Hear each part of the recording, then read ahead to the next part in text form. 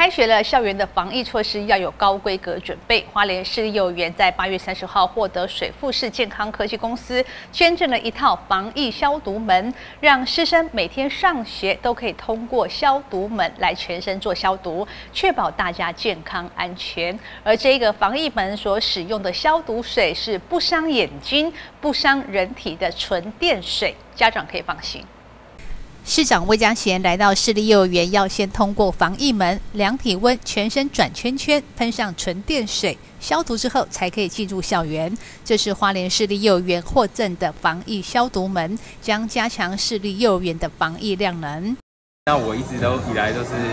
在花莲长大的，那公司提供了就有这个方案呢，能够捐赠。那我们当然就是，我就是选择就是花莲最比较有代表性、办学比较成功的。私立托儿所这样，然后希望可以一起和市长跟私立托儿所的园长一起守护花莲小孩的健康这样。我们这个防疫门呢，主要就是拆装方便这样，就是我们可以像幼儿园在类似举办活动啊，或者是在入口处，像他们这边大门，有时候在侧门进出的时候，这个拆装都是随时可以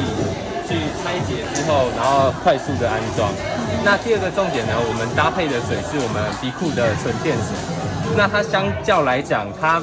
我们有通过眼睛刺激的安全测试，还有吸入性、急性吸入的安全测试。所以，不管在诶，除了在防疫层面以外，在健康层面，我们也为幼儿园所的孩子做把关，健康的把关。这样，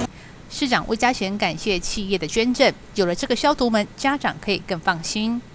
那今天谢谢水富士公司哈，那我们戴副总也是我们花莲人。那特别呃引进非常新的一个防护的一个防护门，那其实里面有一些呃电电水液的部分，它可以消除一些病毒，还有甚至新冠状病毒的一个部分。那也经过非常呃详细的研究。那特别谢谢我们花莲的子弟哈，特别把这样的设备捐给花莲市立幼儿园，让我们幼儿园的孩子们都可以安心上课，也可以放心的呃来到学校。那在此要代表花莲市立幼儿园的所有的孩子、跟家长还有老师，谢谢我们水富士公司。